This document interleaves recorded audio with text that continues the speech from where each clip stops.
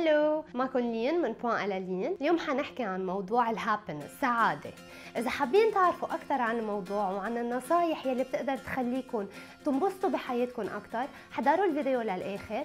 follow Point à la وما تنسوا تعملوا subscribe لل channel كرمال تعرفوا videos أكثر وأكثر قبل ما نبلش نحكي عن النصايح يلي بتقدر تساعدنا نكون مبسوطين بحياتنا لازم نظبط مفهومنا للسعادة. كثير في عالم بتفكر إنه مفهوم السعادة متعلق بنتيجة أو بحالة معينة. متعلق بشكل متعلق بشو آه، بنشتغل بشو بنعمل.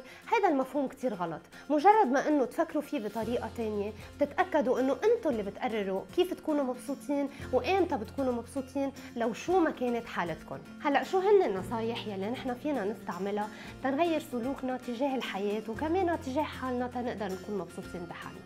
أول نقطة كثير مهمة هي إنه الأهداف اللي أنت عم بتحطها لحالك خليها تكون منطقية. لما تحط هدف بدك توصل له وتقول لحالك إنه أنا بس اوصل له رح أكون كثير مبسوط ورح أحقق كل شيء أنا بتمناه طب ما شوف قبل. الهدف اللي انت حاطه منطقي بتقدر توصل له لأنه لما ما حتقدر توصل له رح تشوف حالك انت الغلطان. ما حتشوف إنه الهدف اللي انحط هو مش منطقي وطبيعي إنه الواحد ما يوصل له وبتفوت بدوامة الفشل والزعل وقلة الثقه بالنفس تاني نقطة فكر انت شو بدك. لأنه كثير أمراض بتسمع هيدا شو عم بيقول وهيدا شو عم يعطي ideas آه، آه، وهيدا شو عم ينصحك وليك هيدا شو عم يعمل. فكر أنت شو بدك لوين أنت بدك توصل؟ لأنه يمكن المحل يلي أنت already فيه وموجود فيه مرتاح ومبسوط فيه منك بحاجة إنك تغيره. لازم تلاقي النقطة يلي أنت بتريحك والحياة يلي أنت بتنبسط فيها مش حدا تاني. ثالث نقطة تذكر إنه السعادة هي قرار. كل شخص هو بيقرر بحياته يكون سعيد. هذا القرار لما تضلك مذكره لحاله بيسيطر على كل الأفكار السلبية يلي يمكن تجي من حيلا موضوع بيعطيك توتر بيعطيك شكوك بيعطيك أفكار سلبية. مجرد ما تضلك مذكر إنه أنا مقرر كون سعيد بحياتي بتسيطر على كل الأفكار السلبية اللي عم بتصير معك بحيلا سيتويشن كانت.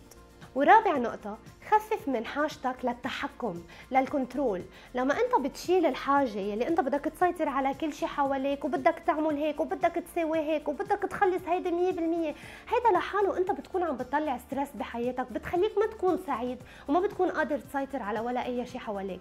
صدقني بس تعمل شغلك مزبوط وتكون مرتاح نفسيا وعم تشتغل مزبوط تتفاجئ بالنتائج يلي حتكون تخليك مبسوط ومرتاح بحياتك وحتقدر تبتسم للحياة أكثر وأكثر اليوم حكينا عن كيف نحن بنقدر نكون مبسوطين بحياتنا وكيف بنقدر نغير سلوكنا تجاه حالنا وتجاه الحياة تنقدر نكون عايشين حياة مريحة ومبسوطين فيها أكثر هذا الموضوع إذا شايفين حدا حواليكم ممكن مارق بفترة صعبة منه مبسوط وزعلان شاركوه هذا الفيديو واعملوا فولو لبوان ألانين لأنه كتير بحكي عن مواضيع قريبة لهذا الموضوع وما تنسوا أنه السعادة شيء كتير بسيط وما بكلفك إلا شوية ابتسامة وثقة بالنفس وضحكة.